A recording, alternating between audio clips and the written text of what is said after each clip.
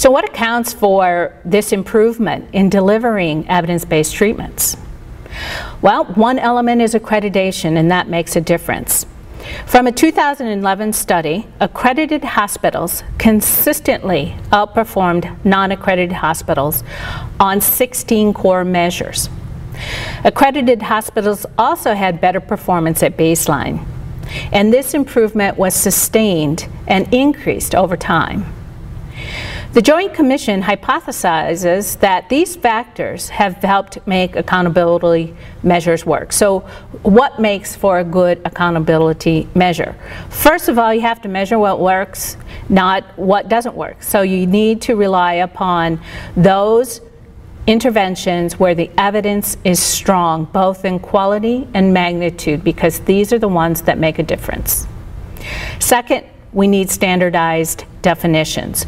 Prior to 2002, although the Joint Commission used ORYX, everyone could develop their own standard definition, and so uh, we weren't measuring the same thing, and that makes comparisons very difficult. Thirdly, collecting and reporting the measurement just once to a central agency or organization certainly improves efficiency and the quality of the measurement. All of that packs a punch with measurement, and using it for accountability, for payment and accreditation is what's making a difference. I mentioned earlier that being evidence-based about everything includes, includes using evidence to generate what and how to measure quality and effectiveness. So it isn't just about using evidence to inform what we should do, but also using evidence to inform how we get it into practice and using evidence to inform the outcomes and how we measure those outcomes.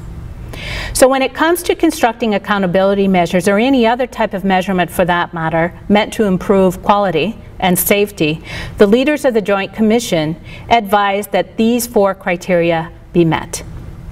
First, there needs to be a strong evidence base that shows that the care practices leads to improved outcomes. And this shouldn't be based on a single study, rather meta-analyses with strong effect size. Second, the measure needs to accurately capture whether or not the evidence-based process has in fact been provided. Checkboxes do not necessarily mean that the process was delivered effectively. I know we rely a lot on checkboxes, but these folks at the Joint Commission understand that sometimes that doesn't mean that a treatment has actually been effective. So for example, if we just check off that heart failure teaching has been provided, it doesn't mean that the patient understands or is able to use those instructions when they go home. The measure needs to address the, a process that has few intervening steps between what must occur before the improved outcome happens. In other words, when you what you measure needs to be downstream to the outcome rather than upstream. So for example, if we measure whether or not a diagnostic test was done, there's a lot of subsequent steps that providers need to take before an effective outcome will happen. Implementing the measure should not induce unintended consequences. For example, giving an antibiotic to uh, folks that arrive at the emergency room with a suspected community-acquired pneumonia could lead to overdiagnosis and overuse of antibiotics just because we're trying so hard to meet that measure.